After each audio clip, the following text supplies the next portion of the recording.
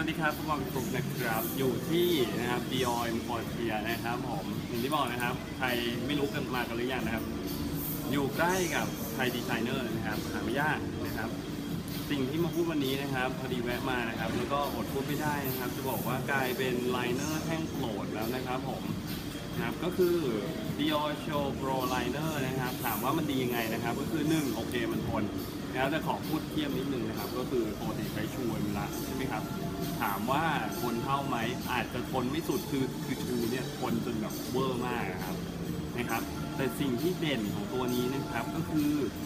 มันเขียนได้นะครับ ได้แบบว่าเส้นที่สวยมากนะโดยเฉพาะเออเป็น inner liner แล้วก็พอเขียน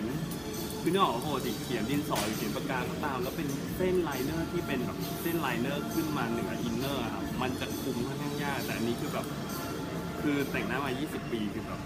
อันนี้เขียนเส้นได้แบบสวยมากจนแบบเฮ้ย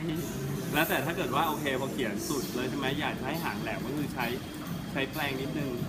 สะบัดแปรงนิดนึงซึ่งแปรงไลเนอร์นิดนึงก็จะได้หางที่แหลมทันทีนะครับเพราะว่าถ้าใช้อันนี้เลยเนี่ยหางอาจจะไม่แหลมมากนะครับแต่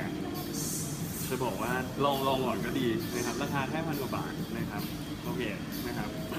กับอีกตัวนะครับที่วัน นั้นวันแรกก็พูดถึงเหมือนกันนะครับว่าผมเนี่ยคือมีทั้งหมด 6 สีนะครับ eye shadow ใหม่นะครับจากของฟิโดฟิลิปนะครับผมเลือกสีดำไปนะเพราะว่าที่บอกไม่ตัวผมเองอะการไปมาไม่มี shadow สีดำเลยนะเพราะปกติกันว่าใช้แต่สีน้ำตาล จะบอกว่าคือคือก็อย่างที่บอกนะครับ แต่ละอันเนี่ยจะมีเนื้อที่แตกต่างกันใช่ไหมครับแต่ที่โดดเด่นนะครับ จะบอกว่าคือพอแต่งเสร็จนะครับ ที่ผมเคยพูดอยู่หลายครั้งเหมือนกันว่า ให้ลงสีขาวในบริเวณที่เป็นพับตาครับชิดกับขนตานะครับ สีขาวเนี่ยครับ ตรงเนี้ยคือลงแล้วก็สวยมากครับก็ติดใจเหมือนกัน แต่อย่างที่บอกนะครับสิ่งที่กรุณาซื้อนะครับ คือไลเนอร์ตัวนี้นะครับจะบอกว่ามันไม่รู้เออพิเศษมากนะครับเลยต้องแวะกลับมาบอกดูนะครับก็ถ้าใครปกติซื้อที่ Dior สาขาไหนก็ลองไปนะครับสำหรับคนที่อยากจะเรียนสัมผัสประสบการณ์ใหม่ๆนะครับก็ลองมาที่ Dior Emquartier นะครับ โอเคครับ สวัสดีครับ